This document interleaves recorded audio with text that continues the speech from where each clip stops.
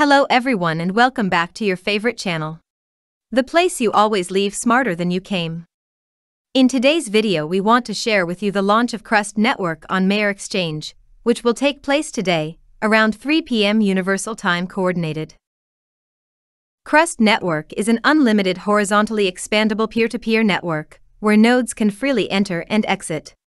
This chapter will brief Crust Network from the perspective of Crust nodes, Crust Network construction, as well as Crust technology architecture.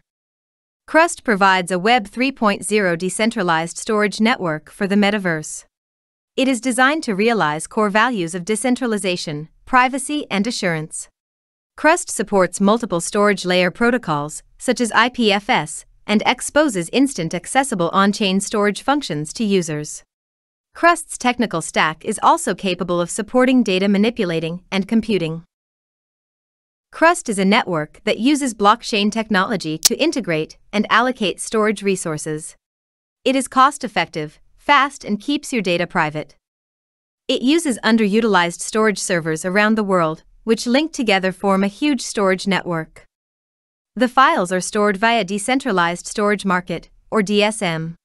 Anyone who wants to store something can broadcast on the chain through the DSM. After receiving the broadcast, the nodes on the chain will begin to react. More copies of your data will be shared among the network.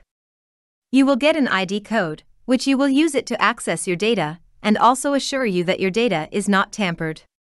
In other words, Crust is a decentralized cloud that values data privacy and ownership.